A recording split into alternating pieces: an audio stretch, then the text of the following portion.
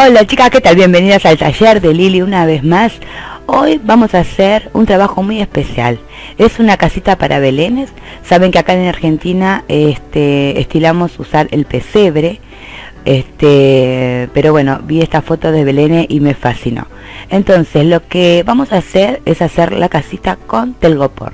Yo en este caso utilicé distintas cajas de telgopor, por ejemplo, acá venía un postre helado, luego mm, un pote de helado de un kilo y también utilicé un soporte de telgopor que mm, cuando compramos un, plasma, eh, bueno, vino con eso para que no se rompa.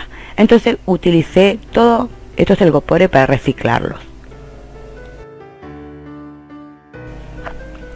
Ahora vamos a empezar a dejar volar la creatividad.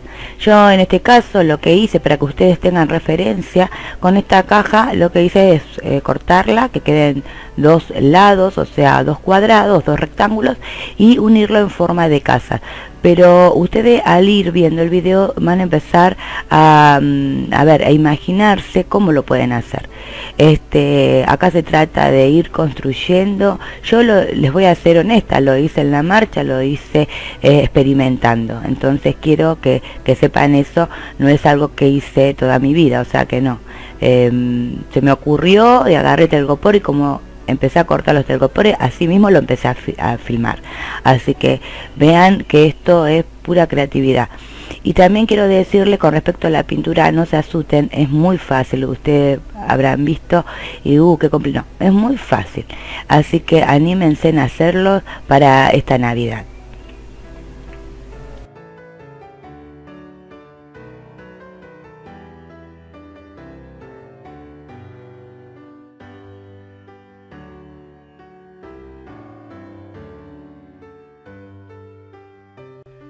Te invito a que te suscribas a mi canal, El Taller de Lili, si aún no lo has hecho, que lo compartas en tus redes sociales y que les des pulgar arriba. Y lo más importante para mí es que lo comentes, de esa manera yo voy a saber qué te pareció el trabajo.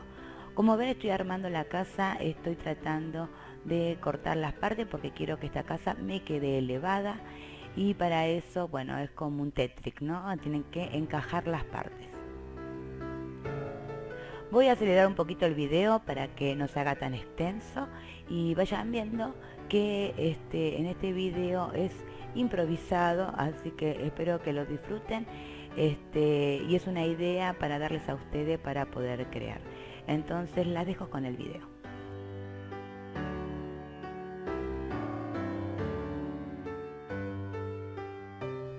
Les cuento en la intimidad, lo que me pasaba es que tenía muy poco espacio en la mesa, la cámara muy cerca, quería también que ustedes lo puedan observar, observar bien.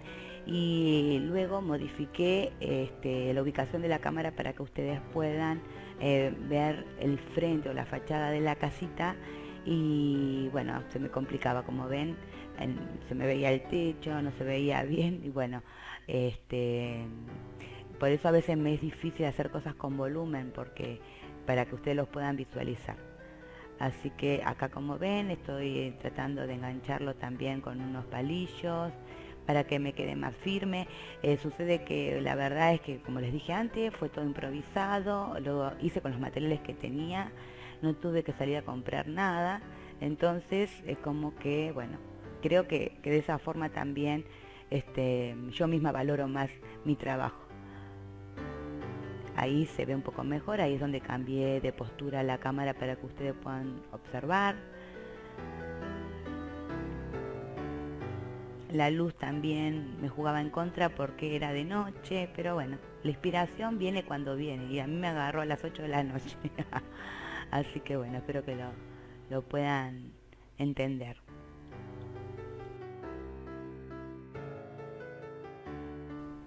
Comencé a bocetear más o menos dónde iba a estar ubicada una puerta. Ven lo que yo les decía, la casa queda elevada, eso sería un muro. Entonces traté de usar con la vinílica también, con la de carpintero, pero no me resultó, no tenía paciencia para esperar el secado. Así que seguí utilizando lo que es la silicona caliente y ahí sí quedó firme y me quedó bien. Y así es como quedó armada la casa. Tiene escaleras, arcadas en las puertas, hicimos la ventana, ¿sí? Bueno, y así fue como quedó concluido y vamos al siguiente paso. En esta parte del trabajo vamos a realizar lo que es la puerta, las ventanas y para esto utilicé cartón. Corté un rectángulo de cartón de la medida de la puerta y corté unas tiritas y le agregué para que simule la madera. Una vez que terminé de recortarlo y pegarlo, pasé a pintarlo con color acrílico negro Después le fui agregando color óxido, ocre y de esa manera fue como quedó concluida la puerta y va a tener una similitud a madera, ¿sí? Ahora las dejo que observen bien el video.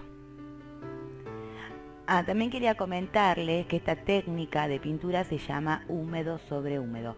Ustedes dense cuenta que no dejé secar la pintura, que fui agregando los tonos con pinceladas eh, utilicé un pincel número 8 este, y fui agregando los colores, esfumándolos, en algunos lugares un poquito de blanco para darle volumen y así jugando con los claros oscuros.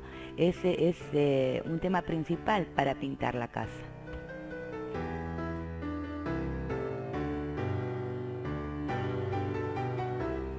Y así es como nos quedó. Quiero también decirles, como ven, ya la casa está con todo un, este, a ver, una base de induido plástico mezclado con una cucharadita de cola vinílica, eh, yo usé cola de carpintero, este, lo mezclé y lo pasé sobre toda la casa, ¿sí? Acá donde le agregué es la parte que tiene como una cúpula, digamos, que lo simulé con una bolita de telgopor y entonces me quedaba eh, por pintar esta parte de, de, arriba del techo. Entonces, eh, quería decirle que la mezcla acá la estoy mostrando, usé induido de pared, ¿sí? También pueden usar pasta de texturizar, eso queda en ustedes. Ya les digo, lo, lo hice con los elementos que tenía. Entonces, mezclamos así y como vieron que lo pasé en la cúpula, bueno, de esa manera lo hice en toda la casa. Lo único que cambió fue que en algunas partes de la pared usé la espátula para que quede como un alisado y este como que si tuviera la pared descascarada por el tiempo, por los años.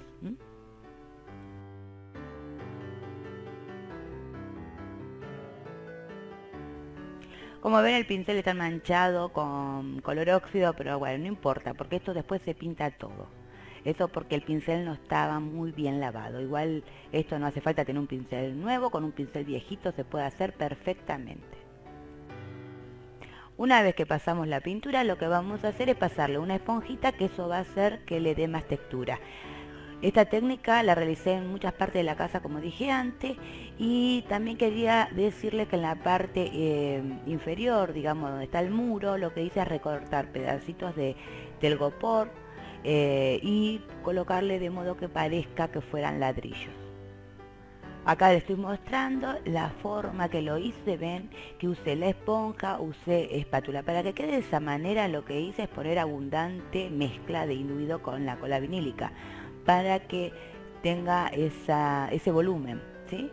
Este, y parezca una pared deteriorada con el tiempo. Ahí están los ladrillitos todo eso ya estaba pegado para poder, este, digamos, pasarle toda esta fórmula eh, en todo lo que es la casa. Utilicé unos palitos de brochet también para hacer este, como si fuera un techito de palo, de caña. Este, yo eh, a esta casa tengo la idea luego de con papel madera darle como si fuera la, que está como arriba de una colina con papel madera sería la base. Entonces, de esta manera quedó pintado, como ven, capaz que a simple vista parece que fuera muy difícil, pero no, ahora van a ver de qué manera lo hice. Yo esta parte la realicé antes para mostrarles y ahora vamos a hacer una que, eh, que la hice especialmente, la dejé libre para hacerla ante la cámara para que ustedes la puedan ver y puedan ver que, que tengo razón que es fácil. Ahora van a ver. Para esta parte del trabajo vamos a utilizar una bandejita, un platito para poner los acrílicos. Vamos a usar acrílico color negro, blanco este color óxido y un poquito de ocre. Vamos a mezclar estos colores. Primero eh, el que tiene digamos más cantidad que vamos a utilizar es el color blanco. Vamos a ponerle un poquito de negro y ahí vamos a ir viendo. Nos tiene que quedar un color verde kaki, ¿sí? Que es este verde. Entonces vamos a pasar en toda la superficie de este muro, del muro, no de la casa. La casa va de otro color. Vamos a pasar en todo lo que es el muro así, todo en pleno. Y una vez que lo tenemos ya pintado, lo vamos a dejar secar muy bien.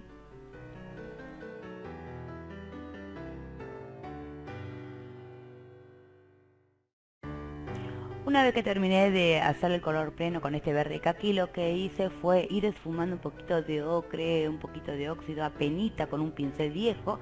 Siempre vamos a utilizar un pincel viejo para estos trabajos. Entonces, pero ¿saben qué? Que no, no, cuando lo terminé de hacer dije no, no, no tenía que haber hecho este paso y yo se los quiero explicar ya que les digo que es algo improvisado, quiero explicarle el paso a paso de cómo lo fui haciendo. Después de hacer este paso que no me convenció, digo, mm, porque en cada parte de la casa fui este, tomando una distinta dinámica para trabajarlo. Entonces en este caso dije, no, voy a hacerle todo, un pincel seco, mm, semiseco, digamos, eh, en todo lo que se esté frente. ¿Para qué? Para que quede las profundidades de todo, todo lo que es el induido que está ahí puesto como una pared vieja, ¿vieron? Que queden los huequitos, que se vean como que eh, la pared realmente está descascarada. Entonces lo que hice pasar, como dije antes, un pincel seco con blanco, a todo lo que es el muro. ¿sí? Al principio que está un poquito cargadito lo voy pasando por el lado de los ladrillos, que es lo que después voy a retocar, y voy a pasar por todo el muro este pincel seco con blanco.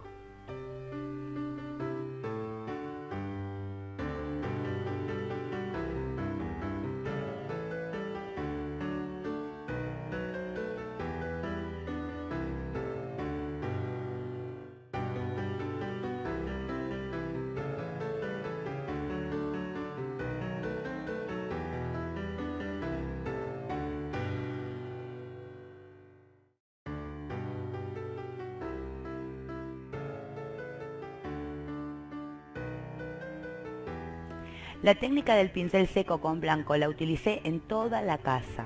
Como fui matizando con color rojo óxido lo que es los ladrillos, con un poquito de negro, un poquito de blanco. Ir matizándolo para darle, siempre jueguen con los claros oscuros, darle profundidad, darle volumen y así, ¿no? Que, porque nada es homogéneo. Tiene en estas estructuras tienen profundidades, que se note que los ladrillos están, este, digamos, eh, ubicados en esa pared. También un consejo que les doy, que siempre cuando pinten, miren a su alrededor, su entorno, lo que es la realidad. O sea, miren un muro, cómo está pintado, qué profundidades tiene, qué colores tiene, cómo se va desvaneciendo un color. Entonces todo eso les va a dar una idea muy, muy propia de cómo este, trasladarlo a una pintura.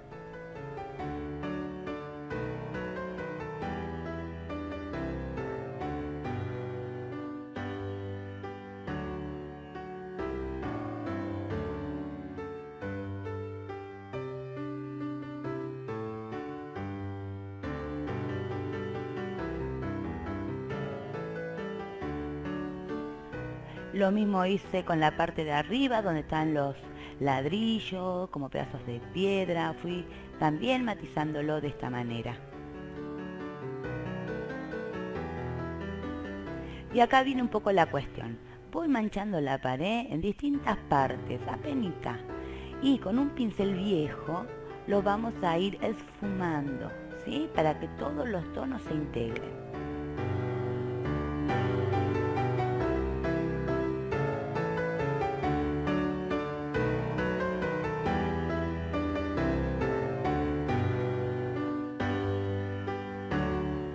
Y así vamos a ir integrando todos los tonos. ¿sí? Vamos a ir agregando blanco para que no nos quede tan tan oscuro. Acuérdense que esta es una maqueta donde tiene cuatro lados y siempre va a haber, depende de cómo esté ubicada, en la base de todas las casas es donde le va a ir dando la luz, que eso es muy importante. ¿Ven? Si yo quiero que en esa parte vaya más luz, agrego el blanco y si no lo voy esfumando hacia el lado donde pusimos el verde, pusimos el rojo óxido. Y así lo voy, que se quede bien disperso el color y no quede concentrado solo en un lugar.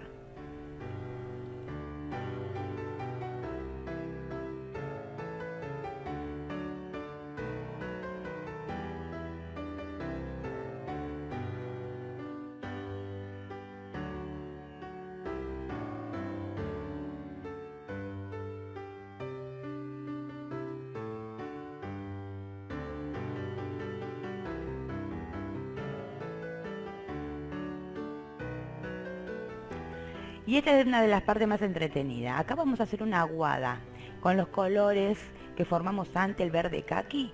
Bueno, vamos a agregarle agua, que quede bastante ligero.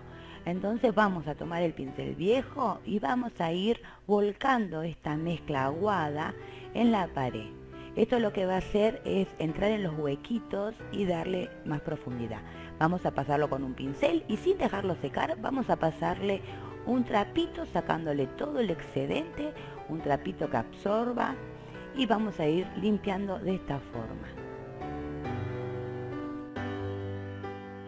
Como ven, en este trabajo aprendieron un poco de pintura. Pincel seco, húmedo sobre húmedo, aguada, así que ahí tienen un par de técnicas para implementar en cualquier trabajo.